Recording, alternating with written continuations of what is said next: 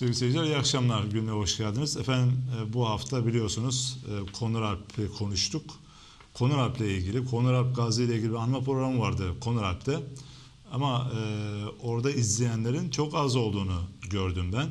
Bu açıdan bu konunun biraz daha geniş kitlelere duyurulması gerektiğini e, düşündüğüm için e, bu akşamki konumuzu Konur Alp'e ve Konur Alp Gazi'ye ayırmak istedim. Ee, tabii Konur Alp'teki o programa katılan değerli hocamız Düzce Üniversitesi e, Fen Edebiyat Fakültesi öğretim üyesi, tarih bölümü öğretim üyesi Sayın Profesör Doktor Yusuf Oğuzoğlu da paneldeydi diğer hocalarla beraber. O açıdan Sayın Hocam bizleri kırmadılar. Programım, e, davetimi kırmadılar, teşrif ettiler. Hocam öncelikle hoş geldiniz. Sağ olun. Öncelikle teşekkür ediyorum zaman ayırdığınız için. Çünkü e, o programı ben izledim, Konur Alp'teki programı. E, dikkatlice izledim. Ama orada katılımın çok az olduğunu gördüm. Hatta üzüldüm ben. Ee, orada konuşulanları, orada anlatılanları, tartışılanları daha büyük bir kesime e, duyurulması gerektiğini düşündüm. Şimdi bahçede de insanlar vardı. Evet. Yukarıda da vardı. Biraz bölünmüştü kalabalık. Bravo. Bir de ilk olmasının da bir dezavantajı evet, var. Yine bir de, de iyi ben başka örneklerle bravo. karşılaştırıyorum. Öyle değil İyi mi? insanlar ilgilendi sadece. Ee, tabii biz istiyoruz ki salonlar dolsun, yani. taşsın. Ama bu tür programlar e, nispeten böyle az izleyici tarafından yavaş, takip yavaş. ediliyor. Yani ilk olması hasebiyle e, olumlu, başarılı, e, seviyeli oldu. Ben hem sizin şahsınızda diğer katılımcılara da ben e, şükranla anıyorum. Çünkü büyük katkı sağladınız. Ama e, bu akşam biraz detaylı konuşalım istiyorum ben. E, tekrar hoş geldiniz efendim. Ben önce öncü TV'ye teşekkür ederim bir tarihçi olarak. Evet. Bu gibi konuları programlarında iz, izliyorlar, izlettiriyorlar bizlere. Evet. İnsanlarımız bilinçleniyor. Bir de size Erol Tayhan olarak bir tarih dostu olarak daha önce de programımıza çıkmıştık. Evet, hoş geldiniz. Böyle önemsiyorsunuz bu konuları. Teşekkür ederiz. Sağ olun. Konular Düzce için de önemli. Ee, evet. Türkiye için de önemli. Evet.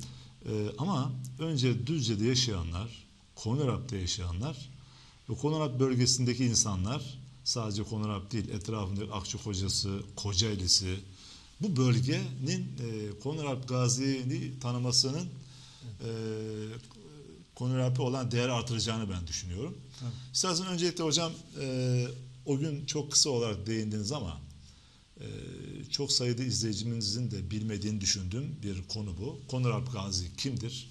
E, neden Konur Alp denilmiş. Alp'in anlamı, mahiyetini. Evet. Orada biraz anlatınız ama biraz daha açarsanız Tabii memnun olurum hocam. Biraz önce belirttiğiniz gibi yani Konur Alp sadece Düzce yöresi için değil, yani Türkiye için de önemli. Bir tarihi değer burası. Çünkü Osmanlı Devleti sadece Bursa, Söğüt çevresinde kurulmadı. Kurumlaşırken Osmanlı Devleti bir yandan bu eski Bitinye eyaleti denilen Burs, Bolu, Düzce tarafından başlayıp diğer yandan Gelibolu'ya kadar uzanan bir ucu Ankara'ya kadar gelen bir geniş alanda devlet kurumlaştı. O yüzden bunun bir parçası olan Düzce yöresi de Osmanlı Devleti'ni oluşturduğu için son derece de önemli. Düzce'de nokta konur abi değil mi? Evet, tabii. Yani o çıkış oradan oldu. Evet, tabii. Yani bir ucu burasının. Evet. Onun için de zaten buraya Konur ili adı vermişler. Biraz sonra Onları arz ederim nasıl oldu bu iş diye. Yani Konuralp Osman Gazi'nin çok yakın arkadaşlarından birisi, güvendiği arkadaşlarından birisi. Yanında yetişmiş zaten o Akçakoca Gazi, Konur Alp, Turgut Alp, o da İnegöl tarafını fethetmiştir. Hasan Alp, o da işte Bursa, Yenişehir, o bölgelerde e, fetihlerde bulundu. Ee, bunlar son derece de önemli. Alp sanını tanış, taşıyorlar. Aslında Osman Gazi de bir Alp'ti başlangıçta. Alp demek o zamanki gelenekte yiğit, kahraman, ünlü yani cesur, baş, başarıları olan, iyi ata binen bunları Aşık Paşa Garipname'de yazar. 1339 tarihli Garipname'de kimdir Alp diye Alp'i tanımlar işte yiğit olacak, cesur olacak. Bir de başarılı olacak. Her kız, her yiğit olana da başarı şey yapmıyor. Alp sana verilmiyor. Yani bir şeyler yapmış olacak. e, zırhı olacak, atının da zırhı olacak, kendi zırhı da olacak. İyi ok kullanacak. Yani herkese Alp denilmiyor Tabii değil mi? iyi ok kullanacak, iyi kılıç kullanacak. Bir de sultana yakın olacak. Yani beyin yakını bir soyluluk da var aynı zamanda bu işin içinde. Onlara Alp ünvanı veriyorlar. İşte bu Alpleri Osman Gazi farklı uçlarda görevlendirdi.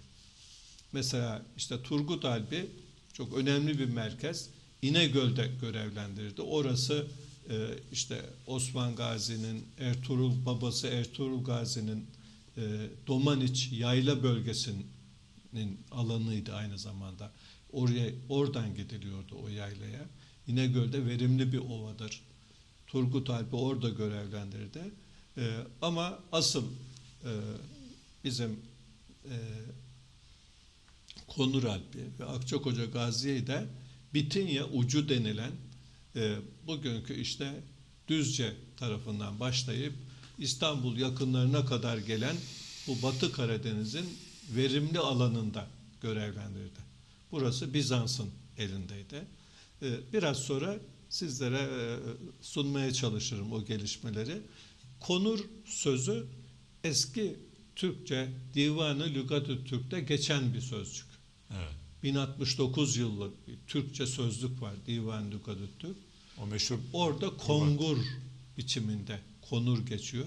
Bugünkü Türkçe sözlüklere de aynen geçmiş bu. Konur böyle kestane renkli anlamına geliyor genelde. Yani es, esmere yakın bir ten rengi olan kişiler için konur kullanılmış. Konur Alp Gazi'nin Yani buradan da- yapısı mı e, Ha, öyleydi? sanırım o ona öyle Siması bir öyle sıfat mi? öyle bir sıfat e, meydana getirmiş. E, sanırım bu isim ona doğuştan verilmiş değil de sonra bu yapısı sebebiyle Konur adıyla anılmış. Bir de Alp eklenmiş üstüne. Konur Alp olmuş. Aynı şey Akçakoca Gazi için de geçerli. E, yayın öncesinde de sohbetimizde belirttiğimiz gibi yani Akçakoca'da özellikle Osman Gazi'nin vefatından sonra da fetihlerde bulundu. Yani işte İzmit'in alınmasından önce o yöredeki kaleleri bugünkü Samandıra tarafındaki kaleleri aldı. Bizans'ın ilişiğini kesti bölgeyle. O zaman tabii yaşlanmıştı yani Osman Gazi'nin vefatından daha sonra o da yaşlıydı. Ve o da işte yaşlı olduğu için işte kır saçlı olduğu için e, Akça ismi oradan mı aldı? Evet, Akça Yani işte yani saçı beyaz ak saçlı anlamında. filan. Evet. Koca da kocamış yani yaşlı anlamı. Bugün işte Koca ili adı bizim yani insanların dilinde gelmiştir. Bu Koca eli yani Evet, koca, eli ili anlamında oradan geliyor. Yani Güzel. Akçakoca'nın genelde fethettiği bir toprakları içerdiği için Kocaeli bu bölgede yani Düzce Ovası ve çevresi yani Yığılca dahil bunda imamlar tarafı. Yani o Gölüyaka. zaman Gümüşabat diye geçiyor. Gümüşova dahil. Bütün Bolu Dağı'na kadar olan bu darı yeri, o taraflara kadar olan yerde Konur ili adını veriyor. Bu il, Konur ili daha sonra Konrapa'ya dönüşüyor. Konrapa. Konrapa kazası oluştu daha sonra. Bugünkü Üsküp'ü dediğimiz yerde resmen Osmanlılar Konrapa daha henüz Bir ara niye Üsküp'ü kullandılar hocam? Üsküp'ü eskiden beri böyle var olan bir sözcük bu. Belki de daha önceden gelen bir sözcük. Ee, o da kullanılıyor. Ama pek tutulmadı o. Konur Evet, diye kaldı ama aslında. Konur Alp adı daha çok kullanılıyor. Osmanlı kayıtlarında da böyle geçiyor zaten. Konur Alp kazası diye geçiyor. Sonra Düzce kaza olacaktır. Daha Tabii. sonra. Yani Konur Alp böyle çok önemli bir kahraman.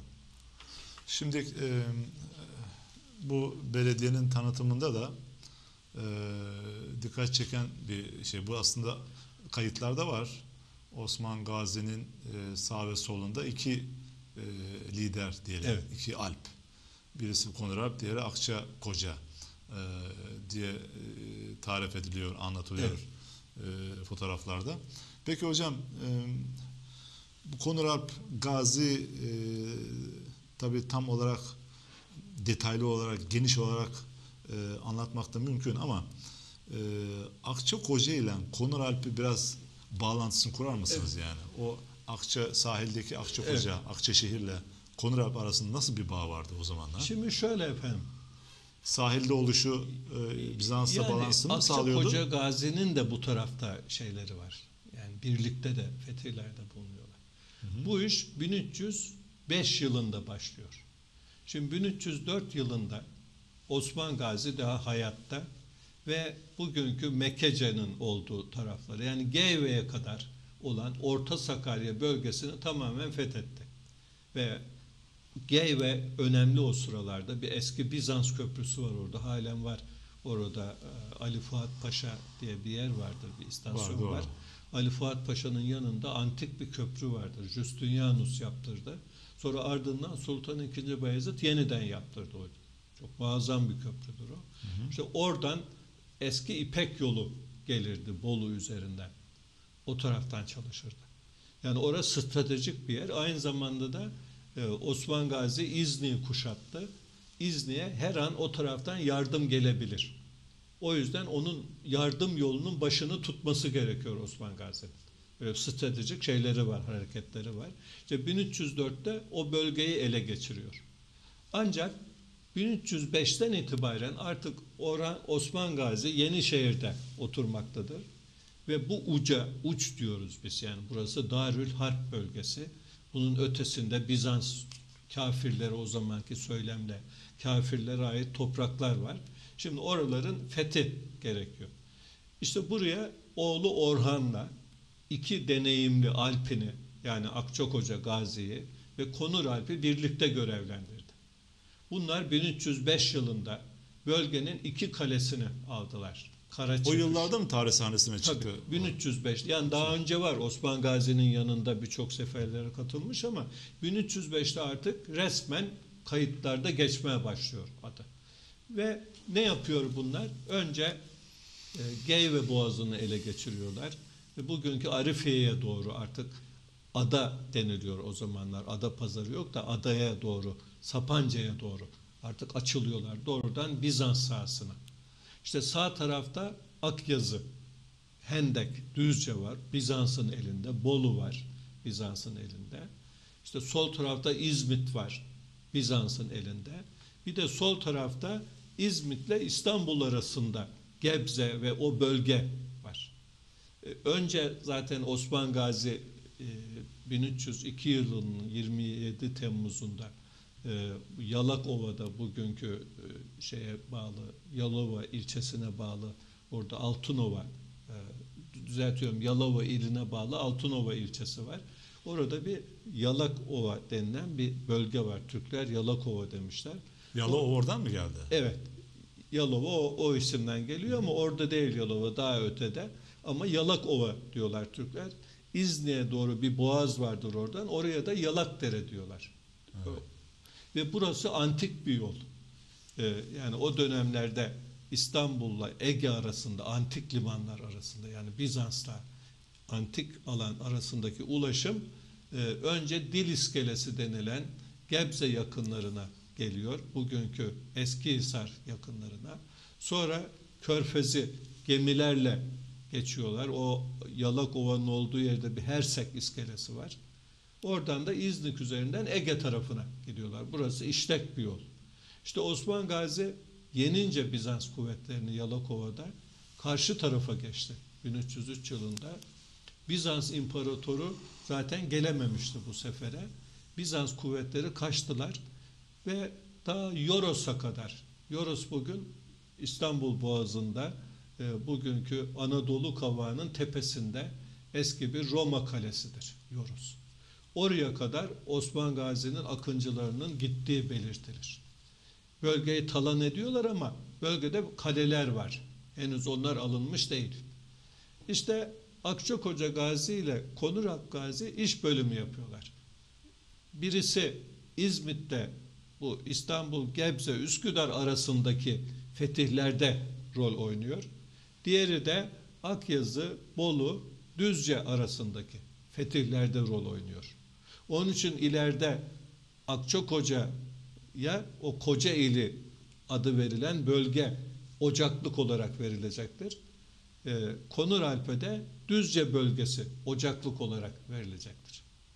Yani koca eli Akçakoca'ya mı bağlıydı bir Evet, anlamda? Kocaeli Akçakoca'nın fethinde büyük rol oynayan bir sahadır. Onun adını taşıyacaktır. Gerçi Kocaeli'nin fethi 1337'de oldu. Orhan Gazi burada e, sultan da o sırada. Osman Gazi vefat etti 1326'da. Ondan 11 sene sonra Kocaeli yani düzeltiyorum bugünkü İzmit İzmit yani. fethedildi. Merkez, Ama Kocaeli merkezi İzmit. Bursa'nın fethinden 3 sene sonra Orhan Gazi Gebze Boğazı'nda Pelekanon denilen yerde Bizans İmparatorunu büyük bir yenilgiye uğrattı. Bu tarihi bir şeydir, başarıdır. İmparator yaralandı ve anca denizden canını kurtarabildi İstanbul tarafına. Çünkü Üsküdar'a kadar bölgeye Türk akıncıları e, yerleşmiş durumdaydı. Sonra da zaten sıkıştırdılar ve hep beraber o zaman Konurak da dahil yani İzmit'in fethinde Akçakoca Gazi, Konurak yani bölgenin bütün akıncıları birleştiler ve İzmit gibi tarihi bir yeri fethettiler. İzmit yani önemli bir şey. Bitinya'ya merkezlik yapmış. Önemli bir şehirdi. Kalesini aldılar ve böylece bu bölge e, onların eline geçti. Evet. Bitinya dediniz hocam. Bitinya deyince Evet. hemen e, konuya girmekte yer var. Çünkü Konuralp sadece e, Osman Gazi'nin, Konuralp'in e, yaşadığı alan değil. Ondan önceki dönemde Bitinya Kral- Krallığı dönemi var. Tabii. E, orada da Konuralp'e değer katan e, tarihi eserlerin oluşu da belki ondan kaynaklanıyor. Bitinya bölümü biraz değinir misiniz hocam? Evet tabii efendim. Şimdi Bitinya adı Bitinlerden geliyor. Bu Bitinler denilen kavim günümüzden 3000 sene önce Anadolu'ya bu Avrupa, Trakya, Boğazlar üzerinden gelmişler. Bu bölgeye yerleşmişler. Aynı sırada Frikler, bugünkü Polatlı, Ankara o taraflara yerleşmişler. Lidyalılar Manisa filan oralara yerleşmişler. Yani bir göç var 3000 sene önce. İşte diyorlar ki bu kadar kavim niye birden ortalığa çıktı? İşte demir devri yaşanmaya başladı. Bunlar fukara Avrupa kabileleriydi. Ve buralarda gelişmiş daha medeni sahalardı.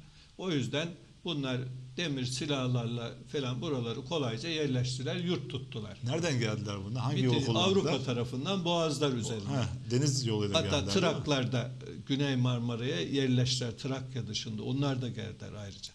Böylece bir Bitinya Krallığı kuruldu burada daha sonra. Bu Bitinya Krallığı'nın merkezi İzmit'ti. Ama bunun asıl önemli sahası da Prusais denilen Yani bugünkü Konuralp'in- bizim Konuralp'in bulunduğu sahaydı. İşte orada biz antik tiyatroyu, bir takım mermer lahitleri yani eski bir şehir kalıntısını görüyoruz ki bu şehrin üstünde aslında bugünkü evler vardır. Onun altı kazılsa bir antik şehir çıkacaktır ortada. Tabii insanlar yerleşmiş burada da Osmanlı'dan beri ev şunlar bunlar yapılmış. Tabii insanları yerinden yurdundan etmek iyi bir şey değil ama Çok da yine de demek aslında, orada böyle artık bundan sonra da apartman dikip e, onu bunu tahrip etmek de olmaz yani. Burayı korumak da gerekir. Hem insanlar Mesela hocam o 40 basamaklı o- olarak bilinen o alandan bahsedildi. O Nurperi Hoca Evet. orada bahsetti. Kaç metre aşağı ineceğiz daha da dikkatimi çekti benim. O 40 basamak tiyatronun olduğu alandan bahsetti. 4 metre mi ineceğiz? Evet Bir evet değişik do- bir dolmuş Evet, o arazi. evet. Yani orada e, ben yani kaçtır 40 senedir yani or- oralardayım rahmetli Cavit Poyraz Öyle mi? Siz daha akraba. onların evi üst taraftaydı. Hatipoğullarının evi üst taraftaydı. Hep onların üstünden giderdim ama 40 senede o taşlar giderek azaldı o basamaklar. Doğru. Ee, orada bir soru sordu Konur Alp'li birisi. Aslında onu önce tebrik etmek lazım.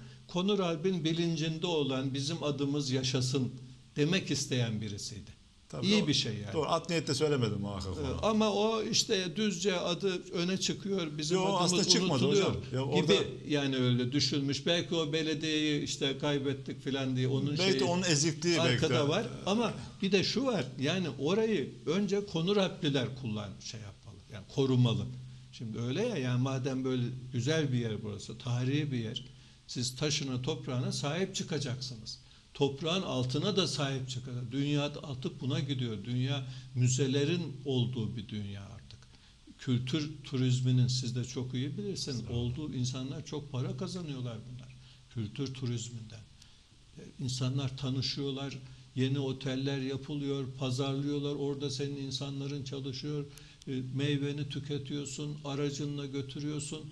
Yani Konuralp gibi bir yer dünyada kaç tanedir acaba? Ya, yani oraya ilginç. bir sahip çıkmalıyız. Yani öyle defineler arayıp eski bilmem tahrip edip ortalığı artık bunların devri geçti yani bu hepimizin malı.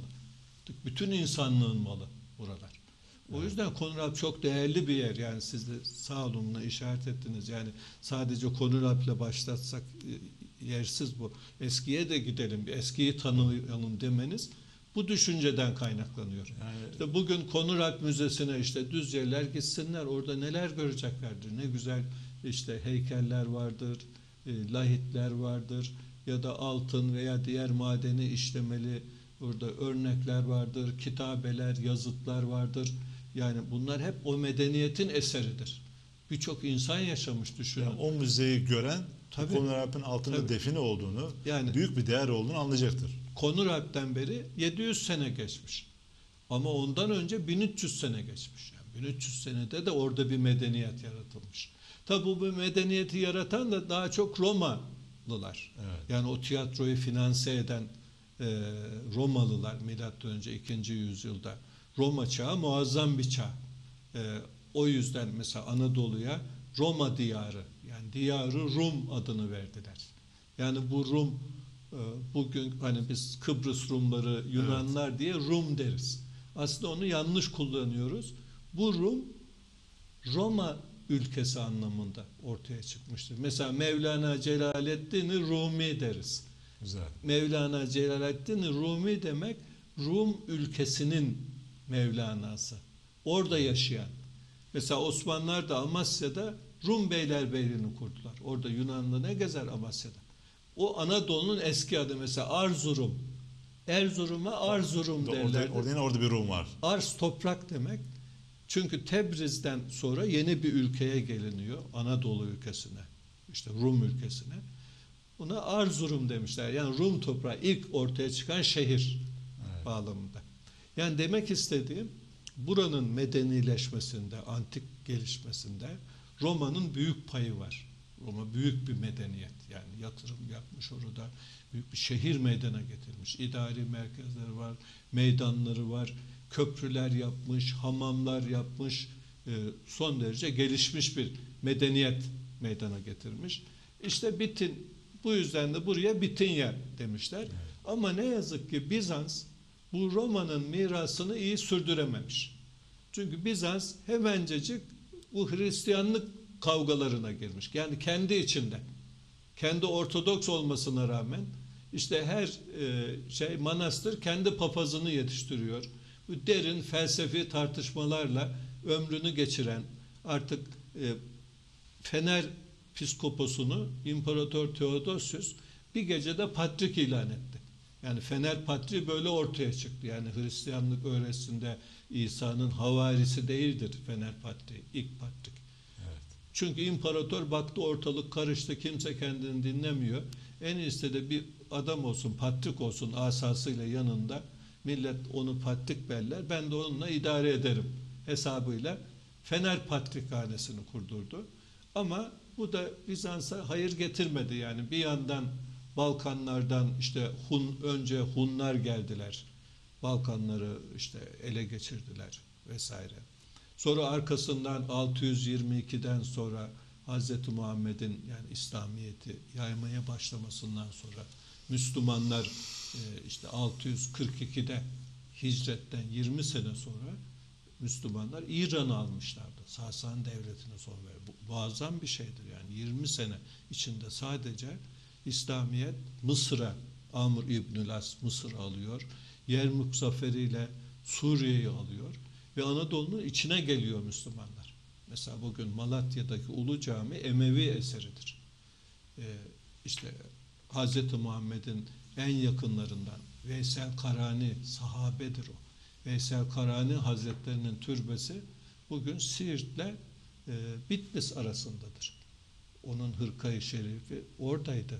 Sonra İstanbul'a getirildi Topkapı Sarayı'na. Yani demek istediğim Bizans'ın en değerli topraklarını Müslümanlar aldılar 600'lerde. Artık Bizans iyice budandı, kabuğuna çekildi. Balkanlara Slavlar geldi, Müslümanlar bir bölüm topraklarını aldılar. Artık o eski Roma'nın eserlerinin üzerinde otlar bitmeye başladı. Anadolu depremleri de zaten 100-150 senede bir oluyor. Onlar da çöktü. O antik şeyler, bizim bu tiyatrolar, şunlar bunlar o güzel eserler yıkıldı. Evet. Böyle bir harabeye dönüştü. Yani Tabii Türkler- depremin Ha, de getirdiği Tabii. e, Yani Türkler zararlar oldu değil mi? buralar öyle Roma gibi gelişmiş değildi. Nüfusça tenhalaşmış, ekonomik yönden zayıflamış, yerli halkın sayısının az olduğu öyle bir alana geldi Konur Alp Gazi. Şimdi Konur Alp'in O zaman e, Buyurun. Konur Alp Gazi e, Konur Alp'i devraldığında evet, Bitinya'dan e, kurtulup e, Osmanlı e, tabii, Bizans'tan Bizans'tan kurtulup e, Osmanlı tarafına geçince e, neler kazandırdı Konur Evet. Alp'e? O Tabii, biraz çok güzel efendim. Şimdi tabi burada eskiden Bizans düzeni vardı. Bizans'ın taşra düzeni yani İstanbul dışındaki düzen. Şimdi Bizans'ta topraklar soyluların malıydı. Tekfurlar, bölgelerde tekfurlar vardı. Bunların adamları vardı. Toprak onların malıydı. Bizans'ta. Evet, onların malıydı. Köylü, paraoikoy denilen köylüler sadece boğazı tokluğuna çalışan, angaryalar yüklenen böyle bıkmış, Bizans yönetiminden bıkmış adamlar köylüler. Ve bir de bunların işte kilise vesaire din şeyleri de girince yani halk bunlardan memnun değildi. Ve Anadolu halkı Selçuklularla beraber onların düzenini öğrenmeye başladılar. Yani gerçek kitleler yani Hristiyan da olsalar Selçuklular biliyorsunuz 1071 Malazgirt'ten sonra Anadolu'ya hakim olmaya başladılar. Yani bizim Konrad gelmeden işte 1171 1200 230 sene önce 230 sene önce Selçuklar gelmişti buralara. Batı Karadeniz'e yerleşmediler ama mesela Kastamonu, Sinop'u almışlardı. Burada Candaroğulları Beyliği vardı. Anadolu'nun ilk fethedilen yerlerinden birisidir Çankırı tarafları. Çankırı Kalesi'nde Emir Karatekin'in heykeli vardır. 1081'de fethedildi burası. Malazgirt'ten sadece 5 sene sonra İzni'yi aldılar Selçuklular. Burada ilk devletlerini kurdular. Düşünün İstanbul'un burnunun dibinde İzni Haçlı Seferi'ne kadar yaşattılar. Yani y- 20 sene. Çünkü arkada geniş bir Türkmen kitlesi vardı. Yani demek istediğim buranın yerli halkı Selçuklu düzenini biliyor. Yani eski halka nasıl davranıyor, ne kadar vergi alıyor, toprak kimin malı, hayatlarını nasıl idame ettiriyorlar, mallarını nasıl pazarlıyorlar vesaire. Bunları çok iyi biliyorlardı. Şimdi aynı şekilde Konur Alp'in yönetimi de Selçuklu düzeninin bir parçası. Yani Osman Gazi de yeni şeyler icat etmedi aslında. Oradaki düzeni kurdu. Yani Mesela- Selçuklu'dan evet. devraldığı Ne, ne Sistemi. yaptı mesela Konur Gazi? Bugünkü Konur Alp'te bir kaza idaresi kurdu. Kadılık o mutlaka olacak. Kadı da e, fıkıh ilminde vakıf olacak. Yani fakıh diyorlar halk buna. Fıkıh, Yani fetva verecek hukuku. kapasite olan. Evet, İslam hukukunu uygulayan birisi olacak. Şimdi bu hukukta ne var? Bu hukuk aslında medeni bir şeydir. Yani hukuksuzluk kötü bir şeydir. güzel. Hukuk uygulamak medeni bir şey. Hukukun içinde ne vardır? Hayatla ilgili ne var? Mesela ben isterim ki bu ev benim malım olsun. Kimse benim evimin içine girmesin. Kimse benim evimi işgal edip sahiplenmesin. Önemli yani. Can, mal güvenliği. Tabii hukukun olmadığı yerde Toprak. Ben bir toprak ekip biçiyorum. Biri gelip bana hadi git oradan bu benimdir demesin. evet. Bunu kimse elimden alamaz. Bir de öldüğümde benim mal varlığım mirasçılarıma kalsın. Şimdi kadı bunları uyguluyor. Bir miras hukukunu uyguluyor. Ölen kişilerin mallarını paylaştırıyor. O hukukta ne kadar hisse oğluna, kızına, eşine ne giderse onu veriyor. Herkes buna razı. Eline de bir kağıt veriyor. Şu tarla şu sınırda, şu dükkan şurada, şu ev şu kadar katlı falan diye güzelce bunu yapıyor. Ondan sonra ne beklerler başka bu medeni idareden? Fiyatlar belli olacak. Yani adam ne yapıyor? Düzce Ovası'nda üzüm elde ediyor. Üzümden işte pekmez yapıyor. Veyahut da Hristiyan şarap yapıyor filan neyse. Bunlar isterler ki bunun fiyatı ne olacak? Ben pazara götürdüğümde ne kadardan satılacak? Veya ekmek satın alacağım ben. Ya da un satacağım fırıncıya. Unun okkası kaç akçadan gitsin? Ya da pekmezin işte vukiyesi, okkası neyse ne kadardan gitsin? Kadının bir görevi de fiyat vermek. Fiyatın adı narhtır. Evet. Nar vermek. Biz bakın kadı sicillerinde hep nar listeleri görüyoruz. Hem de yılda birkaç defa. Turfanda kabak çıkar. Şu kadardır fiyatı fazladır. Bir ay sonra kabak çoğalır o dörtte bir fiyatı düşmüştür. Et mesela kesim biter işte kışa doğru et fiyatları biraz artmaya başlar vesaire.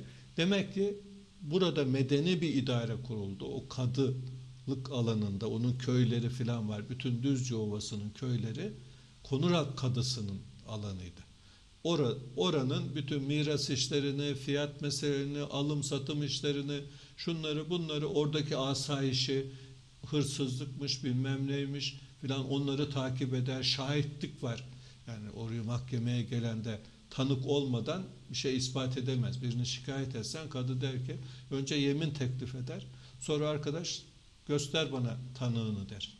Eğer şahidi yoksa hadi güle güle der. Yani bilemem ben. Ciddi bir hukuki bir, ciddi bir şey öyle çalışma. uyduruk şey değil. Evet. Hatta bu düzende baştaki bey sultan bile kadıya sen şu kararı ver diyemez. Çok ilginç. Tabii. Çünkü Öyle o, bir dahli olamaz evet, değil mi? O düzende halk vedai halikül berayadır. Yani, yani halik yaratan demek. Allah'ın emanetidir. Ona sen adaletsiz davranırsan sultan da en büyük günah işlemiş olur. Allah'ın emaneti yani bu anlayışla. Allah'ın emaneti. Öyleyse o adaleti sen gözeteceksin. Kadıya müdahale edecek, editmeyeceksin. Onun için kadılara mesela Üsküp'de Konuralp'te kadıya Konuralp Gazi emir veremez. Öyle mi? Sultan da emir veremez. Sadece onun işlerini merkezden daha sonra kadı askerlik ihdas edildi. Birisi gözetir. Yani tabii önce küçük yer burası. Medreseyi bitirmiş 3-5 sene sonra kadılığa yükselmiş birisini önce buraya tayin ederler. Çok fazla da tutmazlar burayı. Yani e, en çok 36 ay böyle 3 sene filan. Kayıtlarda var mı bu Tabii hocam? var. 36 18 ay. ay sonra 18 aya düştü bu. Kanunnameleri vardır bunların. Yani kadı orada uzun süre kalırsa evlenir, çocuğunu şey yapar, bilmem akrabalığa girer, taraf tutabilir diye Osmanlı 18 aydan sonra bunu hadi güle güle arkadaş ben seni terfi ettim git şurada kadılık yap diye gönderir. Yerine bir başkasını getirir. Bu tabi medeniyetin birinci şartıdır. Onun için işte şehirlere Medine adı verilir. Medine medeni anlamında evet, değil mi? Şehir demek. Şehirli anlamında evet. Çünkü doğru. orada ne var? Bir işte kaza var, hukuk uygulanıyor. İki orada yapılar var. Siz o şehre mesela Konurak Gazi bir yerde oturacak. Orada pazar kurulacak. Bir pazar yeri vardır. Orada. Onların ayrıntıları e, şey esnaf çarşıları vardır orada. İşte cami birkaç tane mahallelerde cami vardır. Oralarda sanatçılar çalışır. Taş işçileri, üstlerine kurşun döken kurşun ustaları, ahşap isteleri, mimar mesela mimar ilmi hendeseye vakıf olacak. Hendese, geometri ilmi demek böyle. Demek ki sanat da gelişiyor orada. Hukuk da var aynı zamanda. Tabii Bunlar tek başına değil. Yani tek başına kılıç sallayan adamlar olmuyor. O esnaf da geliyor buraya ham madde olduğu için. Mesela Konrad'da hangi ham madde var? Çevreye yörükleri yerleştirmiş. Bizim Orhan Gazi. Evet. Yörük nüfusu. Şimdi yeni nüfus hayat sahası arayanlar var. Mesela Ak yazılı e, cemaati vardı yörüklerden. Ta Gölyaka yakınlarına kadar bunlar böyle yaylaklara gelirlerdi bu cemaat. Yığılca tarafında yörükler vardır yerleşti. Beçi yörükleri. Üsküp'ün üst tarafı halen Beçin'in adı var. yaşıyor. O isimle anılıyor. Böyle birçok yörük gruplarını bölgeye yerleştirdi. Tabii yörük ne yapar? Adam dersin ki ya işte gidiyor yaylaya geliyor. Oysa başka şeyler yapar onlar. Mesela yaylaya gittiler. Hani Nevruz vardır bizim. 21 Mart'ta. Artık Nevruz ne demek? Nevruz aslında Orta Asya'da, Orta Doğu'da her yerde, herkesin bayramı. Yani Kürtler diyorlar Nevruz bizim bayramımızdır falan diyor ama herkesin bayramı. Ergenekon bayramıdır aynı zamanda Nevruz. Çünkü Evet. bunlar bu hayvancılık yapan topluluklar ilkbaharda işte yaylaya çıkıyorlar. Niye? Kuz- artık koyunlar kuzulamaya başlıyor. Keçiler işte oğlak doğuyor filan. Bunları büyütmek için yaylaya çıkarlar. Yani orada su vardır, otlak vardır, bilmem ne filan. Ama bu arada ne yaparlar? O çoluk çocuk çıkarlar. Onların hanımları koyunları, keçileri kırpar. Keçi şeyinden böyle e, yününden ya da koyun yününden e, iplik dokunur. Bu ipliğin paz- pazarı vardır. Yani yünlü dokuma için ham madde üretir bunlar. İplik üretir. E, her türlü yünlü giysiler, işte halı, kilim dokumaları, çadır mesela çadır malzemesi mesela hep keçeden yapılır bu da. Demek ki bunlar e, iplik üretiyorlar orada. Deri üretiyorlar. Derinin çok geniş alanı var. Debbalar vardır burada. Hemen bir debbane kurulur. Ham deriyi işlerler bunlar. Sonra boyarlar, sahtiyan yaparlar. Her çeşit çizme, üst baş, evde kullanılan deri malzemeler, şunlar bunlar burada üretilir. Öbür yandan bunlar işte süt ürünlerini değerlendirirler. Yani süt kesilir öyle o zaman soğutucu falan yok. Yaylada 2-3 günde yazın süt bozulur. Ne yapacak adam? İşte onu peynir yapar. Tulum peynirleri, şunlar bunlar. Bunlar aranır. Yani mesela İstanbul'un nüfusu bir ara 400 bine çıktı. 400 bin muazzam şehir olarak geçiyor. Avrupa'da yok. Paris'in nüfusu o kadar değil. İstanbul'u nasıl doyuracak? İşte bizim bu yörenin halkının ürettiği bu işlenmiş deriler, her çeşit şeyle kereste bölgede şeyler var. e, Keresteden işte gemi yapılan tersaneler filan var. Ereğli'de var. Ondan sonra Akçakoca'da küçük çapta kayık filan üretiliyor. İşte bunlar hep taşınırlar, iskeleler vardır kıyıda. Oradan İstanbul'un odunu, kerestesi, işte et, süt, bilmem ne ihtiyaçları, meyve buralar bereketli topraklar. En iyi un yetişir. Şey, Peki buğday. hocam o dönemde Konur Alp'in Osmanlı'ya geçtiği dönemde Konur Alp merkez. Tamam. Düzce Ovası e, gıda temininde mi kullanılıyor? Evet tabii O zaman tarım mesela- yapılan yerleri var Düzce Ovası'nın. Evet. Şimdi zaten ocaklık o yüzden veriyor. Yani ocaklık demek arkadaş sen işte sınırların imamlardan Gümüşabat'a kadar işte Darıyeri köyüne kadar Bolu yoluna kadar Yığılca dahil bütün oranın yörüklerinin çiftçilik yapan insanın vergi gelirlerini sana verdim diyor Konur Alp. Çünkü öyle ya, adam maaş alacak şimdi. Yükselmiş, fetihlerde bulunmuş. Alp neyle geçinecek? Haraca kesecek hali yok ki bu medeniyette onun da bir gelir kaynağı olması lazım. Diyor ki Evet. siz vergiyi merkeze değil Konur Alp'e vereceksiniz diyor. Onun ocaklığıdır burası diyor. Ama bu vergiler de fazla değil. Şimdi Bizans tamamını alıyor mahsulün. Şimdi Osmanlı'da bakın öşür vergisi toplanıyor topraktan. Osmanlı sistemi farklı tabii. Evet. Mesela 7'de bir, 6'da bir öşür. Yüzde 15'i. Adam harmandan buğdayının yüzde 15'ini vergi olarak veriyor. Yüzde 85'i kendine. Mesela kovan resmi var. Bir kovandan bir akçe alınıyor. Oysa biz bakıyoruz balın vukiyesi 13 akçe. Bir kovandan 10 vukiye, 10 okka bal çıksa 130 vukiye yap, 130 akçe yapar. Yani 130 akçenin birini veriyor sadece. Yani bu paralar şeyin maaşı oluyor. Demek ki bir de şunu düşünelim. Konurat gibi tecrübeli, sultana yakın birisine buraya ocaklık vermeleri demek, buranın gelirinin fazla olması demek. Demek ki buraya o kadar çok yörük nüfusu geldi, artık topraklar öyle ekilip biçilmeye başladı ki halkın üretimi de fazla. ya da kereste kesiliyor bilmem ne bunlar. Yani o dönemde de demek Tabii, ki bu bölgenin gıdasıyla. İstanbul'u besliyor değil mi bir zen- anlamda? Zengin bir yer mesela çeltik alanları var. Düşünün Düzce'de çok değerli akarsular vardır. Mesela Uğur suyu bizim küçük melen dediğimiz. Uğur suyu. O Konar Alp'in yanından geçen Tabii. Belen mesela o Tabii orada işte o zaman oraya değeri katan büyük bir değerli bir tanesi değil Uğur mi? suyu diye geçiyor. Aksu imamların üstünden geliyor. Ee, Eski Eftene Gölü'nü oluşturan e, şey ya da Beyköy taraflarından yine Derdin Derdin çayı var.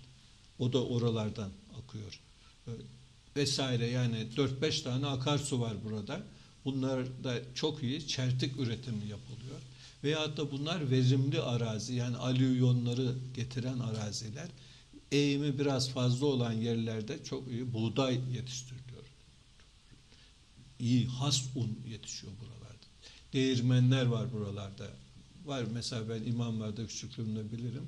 Caminin yanında değirmen vardı. Bir Su değirmenleri vardı Ha, aslında, Değirmencisi vardı var. oranın. Yukarıdan su gelir. Onun çarklarını döndürürdü ve un elde edilirdi. Yani demek istediğim bölgenin meyvecilik yönünden bağları vardır ayrıca. Ee, iyi buğday yetişir. Hayvancılık ürünleri vardır. Kerestesi gemi yapımında kullanır. Bu tomrukları işte keserler. Onlara para ödenir yukarı dağdan indirenlere. Sonra arabalarla bunlar da Akçaşar'a, Akçakoca'ya taşınır. Oradan da gemilerle Ereğli'ye taşınır veya İstanbul taraflarına falan gider böyle. Ya da İstanbul'un kışlık odun ihtiyacı. Yani bunun gibi yerlerden sağlanır. O yüzden Düzce son derece verimli bir saha. O yüzden bir ocaklık olarak önemli bir mevkidaşa verilmiş. Sonra Akçakoca Gazi vefat ettikten sonra burası Orhan Gazi'nin büyük oğlu e, Süleyman Bey'e verildi. Şehzade Süleyman'a. O meşhur Süleyman. Ocaklık düşünün. Yani o Yenişehir'de filan eserleri var.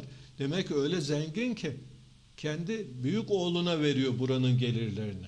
Maaş karşılığı olarak. Sonra da ünlü Timurtaş Paşa var. Bursa'da e, Demirtaş Organize Bölgesi var bugün.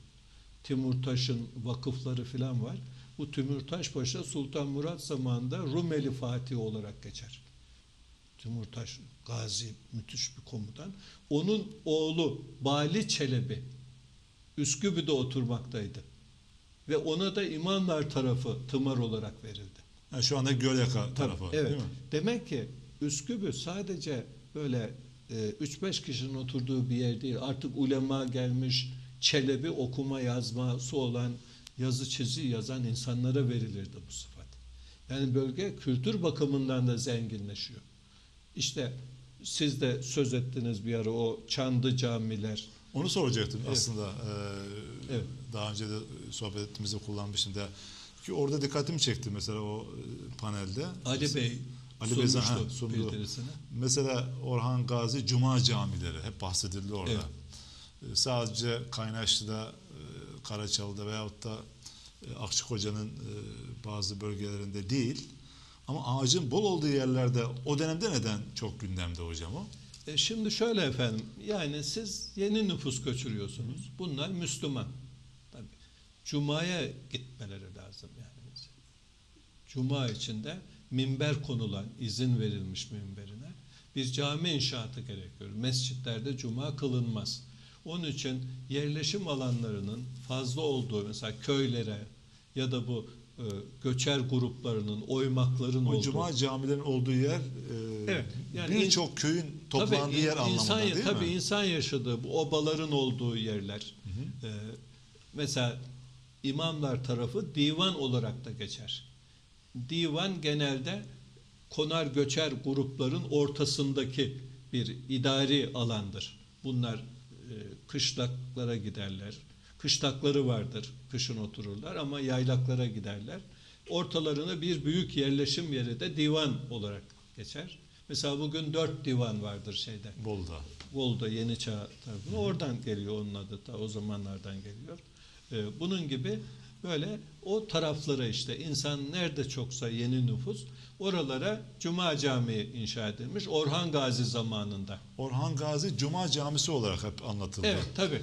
Orada Ee, Orhan e, Gazi Al- döneminde evet. yapıldığı için veya Orhan Gazi'nin onayı olduğu için değil mi? Bir Evet. anlamda. Ee, Şimdi sizin de haberiniz var bir e, Düzce sempozyumu düzenlenecek. Evet. 21-22 Bu Kasım. hocam netleşti değil mi bu Tabii tarih? netleşti. Ee, Sayın Belediye Başkanımız e, bunu işte finanse ediyor. Baştan beri buna destek veriyor. Ee, Mehmet Keleş Bey'e bu noktada hepimiz müteşekkiriz. Çünkü kitabını da bastırıyor bunun. Hazırlıklara başladık biz.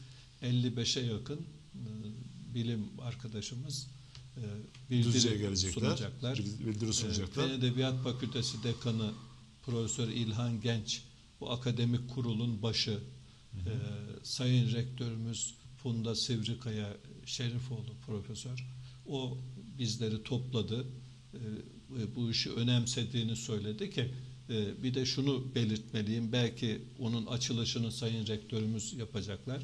Bugün üniversitenin e, ortasında kültür merkezinin hemen yanına bu dört önemli Osmanlı e, Fatih'inin büstleri yapıldı.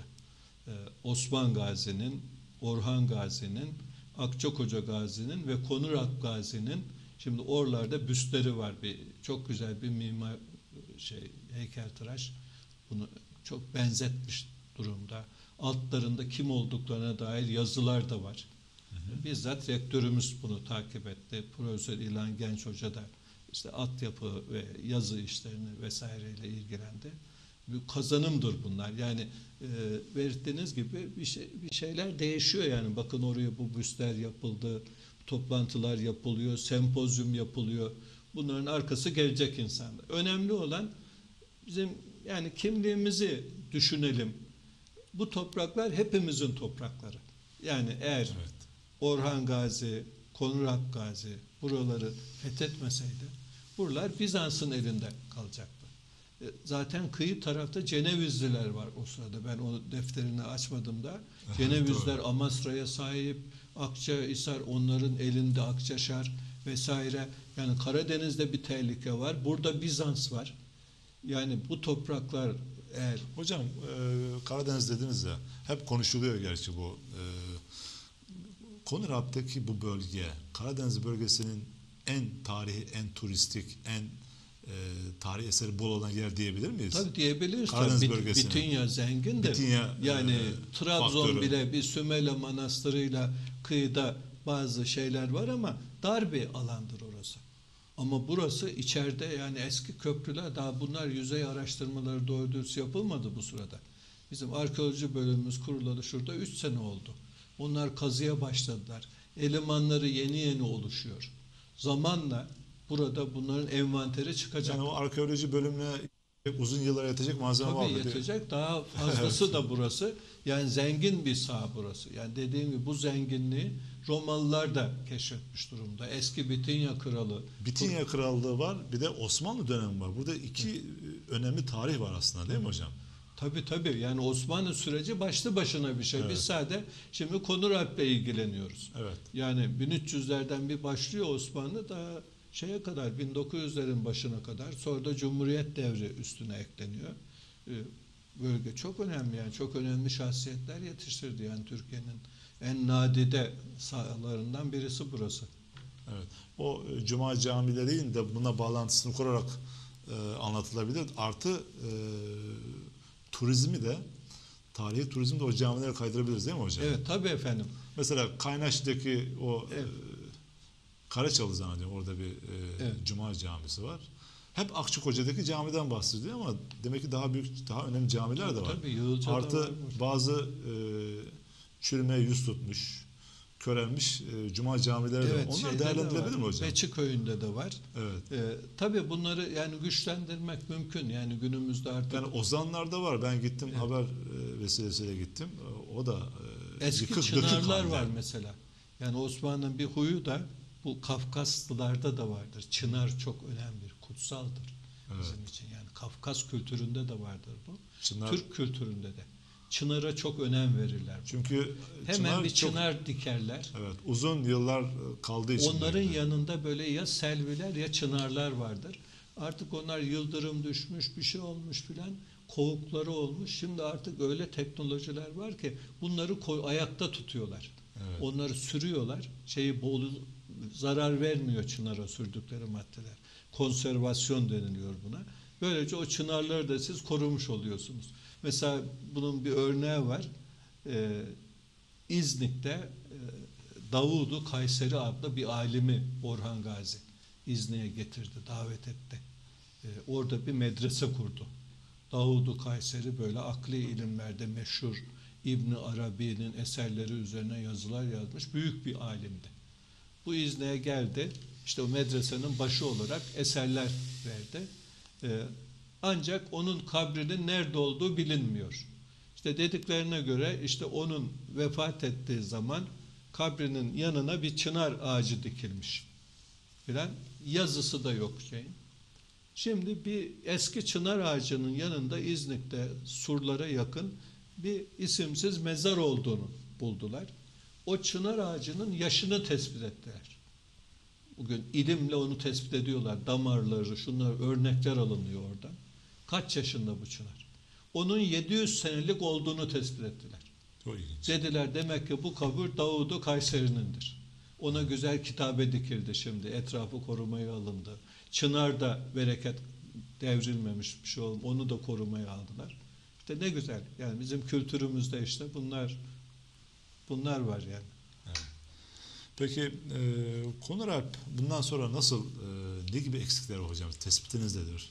Evet. Neler e, yapılarak Konur Alp ön plana çıkartılabilir? Şimdi efendim tabii Bir tarihçi olarak. Evet, e, yani işin siyasi boyutu var. Bunları üstüne daha çok yazılar yazmak, işte öğrencilerimize bunları öğretmek gerekiyor. E, yani hadi bizler iyi kötü öğreniriz de yeni yetişen ilk öğretim öğrencilerinden başlayarak insanların bu bilgileri edinmesi gerekiyor. İşte bununla ilgili Aslında olarak Düzce'nin her Evet. bölgesindeki okulun evet oraya Düzce'de bir gezi yapıp Evet. oraları görmesi Bir, lazım. işte- Önce Düzce'yi orayı tanıması lazım. Konur Gazi'nin işte Sayın Başkan da ilgileneceğini söyledi. Bugün e, Üsküp'teki caminin yanında e, bir türbesi var orada. Evet. Ama bir iki kişi daha var orada yatan. Bir tek de yazısı var onun orada. Ama bu bina öyle mütevazi, bakımsız filan bir şey. Kapıları Şimdi Konur Alp'e yakışır oraya bir tabi izin alınmak da lazım. Bu tarihi bir eser.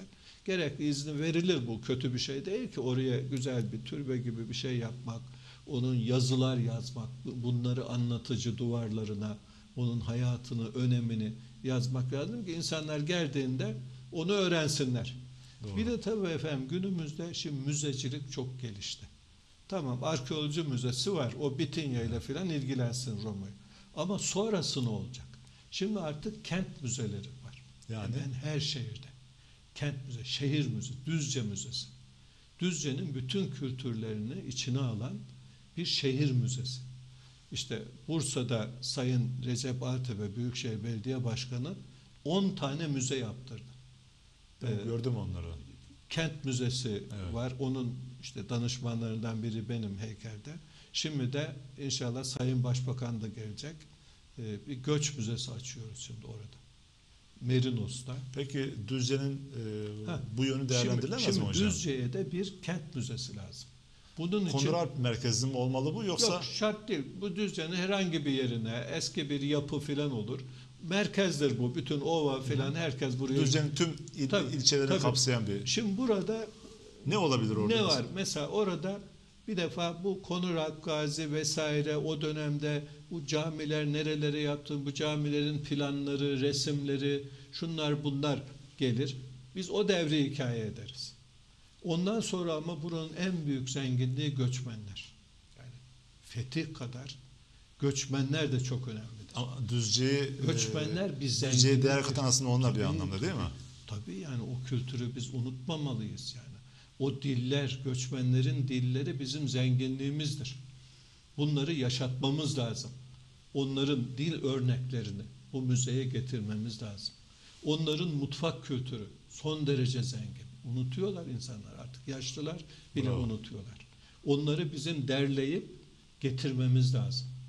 O Çer Çerkez oyunları, Abbaz oyunları, Gürcü oyunları, Kırımlar, ondan sonra Bulgaristan muhacirleri o kadar çok insan var ki burada.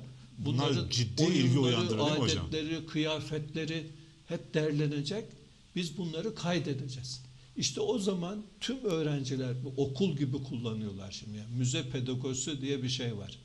Çocuk Hocam Bursa'nın yaptığı bu tarz bir şey Tabii. mi? Yani çocuk randevu alıyorlar okullar artık oraya gelmeden. Önce öğretmen geliyor, bir bakıyor çocuğa nasıl bilgiler vereceğim ben diye. Şu saatte geliyor sınıf, ona göre müze randevu veriyor. Oradan bir iki de kılavuz var. Çocukları böyle her tarafı gezdiriyorlar. Onlar böyle durup bakıyorlar bilmem ne. Çünkü e, işte insanların okuyarak değil, bakarak, görerek, Doğru. dokunarak öğrendi anlaşılmış. Yani, istediğinde kitaptan okuyarak oku, değil, orada dur. görerek yaşayacak Görerek. orada. Doğru. Ve bir de bittikten sonra da bunlar oturuyorlar. Ellerine bir form gibi bir şey veriliyor. Ne öğrendiler? Mütevazi yani ilkokul öğrencisi de olsa aklında ne kaldı? Böyle unutmadan onu bir de tekrar etmiş oluyor. Yani kent müzesi işte sizin buyurduğunuz gibi yani buradaki insanların geçmişi unutmaması için, kültürünü unutmaması için son derece önemli. Bu da büyük bir para değil. Bugün Türkiye'de Tarihi Kentler Birliği var. Bilmiyorum Düzce buna üye mi? Birçok Zannedersem üye değildir. evet birçok şey üye ilimiz üye yani. Ama Akçık Hoca zannediyorum öyle bir müracaat olduğunu Buna hatırlıyorum ben. üye ol- olunabilir. Yani UNESCO'ya başvuru ayrı, Tarihi Kentler Birliği'ne ayrı. Ee, şimdi en son Gaziantep Belediye Başkanı bunun başkanıydı. Ee, bir Çekül Vakfı var. Ee, Profesör Metin Hoca İstanbul'da. O da onun genel sekreteri. Bizim Bursa müze danışmanlığı yap, veriyor her Hocam böyle bir konu rapin olduğu bir ilde bizim e, Tabii derhal yani üye olmamız çok lazım. tarihi, bütün yasıyla bilmem burayı bütün burası. Dediğim gibi göçmenlerin zenginliği çok önemlidir. Hiçbir yerde dünyada böyle bir yer yok. Düzce gibi bir yer yok. Bu kadar göçmenin, Güzel. Çok zengin doğru tespit kültürün hocam. olduğu başka bir yer. Çünkü bunlar bir de bir arada yaşamış. Bir de düz, hem düzce geçiş alanı olmuş. Tabii Her geçiş gelen alanı, ikamet, bir ikamet de etmiş. bunların barış içinde yaşamaları da şeydir. Bir arada yaşama kültürü. Bu kültürleri korumaları da bu kadar zaman geçmesine rağmen çoğunun unutmaması da çok önemli bir değerdir. Dil, adet, Tabii gelenek, bizim görenek. işte bunları toplamamız lazım.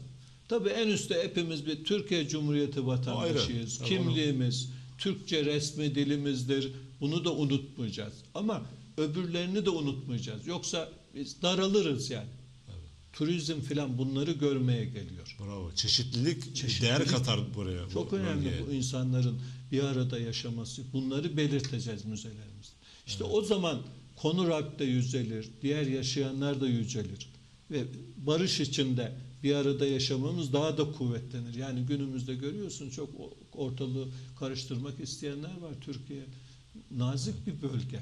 İnsanları ayrıştı- ayrıştırmaya çalışıyor. Sen şusun, sen busun bilmem ne falan diye böyle. Yani bu örneği aslında Ha, yansıtabilsek, ha, aktarabilsek dünyaya arada- örnek olabilecek tabii bir... bir arada durmuşuz, bir vukuat olmamış şimdi. Sen şusun, sen ana dilin şu, bunda şöyle olsun, kop mop filan şeyler dolaşıyor.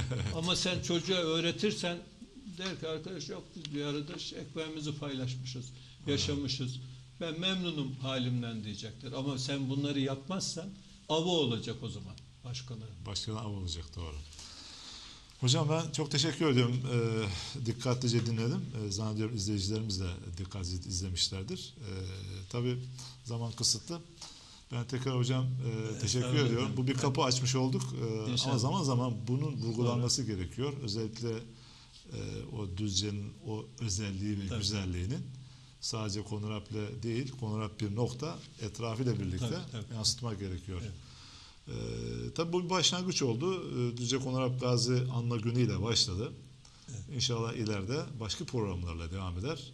Ee, daha çeşitli sempozyumlar yapılabilir. Daha değişik kitaplar basılabilir. Sayın Başkanımız istiyor zaten. Daha Doğru. çok kitap basalım. Seneye bir tane daha yapalım gibi. Biz de destek vereceğim. Bu iyi bir şey, hayırlı bir şey yani. Doğru. İşimiz bu inşallah. Yani gelecek nesle kalıcı bir eser bırakmak Yani sizler de bunu duyuruyorsunuz. Geçenlerde de zaten Enver Hoca falan geldik. Evet, o, o da Bunlardan oldu. bahsettik. Zaten Enver Hoca şu anda Düzce tarihiyle ilgili çalışıyor. O Tabii da- çalışıyor. İşte Aydın'dan gelecek sempozyuma 20 Kasım'da. İnşallah. Kitap içinde bakalım bir yol alınır inşallah. İnşallah. Hocam tekrar teşekkür ediyorum ben. Estağfurullah efendim. Ee, katkılarınızdan dolayı ve bu başarınızın ben sürmesini diliyorum. İnşallah. Sağ olun. Sevgili seyirciler bu akşam Konur Alp'i, Konur Alp Gazi ve bölgesiyle beraber Düzce'yi özelliğini ve güzelliğini konuştuk. E, Değerli hocamız Düzce Üniversitesi Fen Edebiyat Fakültesi Tarih Bölümü öğretim üyesi Sayın Profesör Doktor Yusuf Oğuzoğlu e, katkı sağladılar. Biz sizler de bizleri takip ettiniz. Teşekkür ediyorum. İyi geceler diliyorum. Saygılar sunuyorum.